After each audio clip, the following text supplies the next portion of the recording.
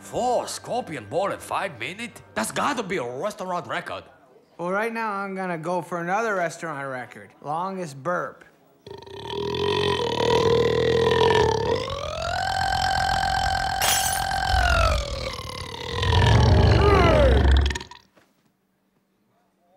Congratulations.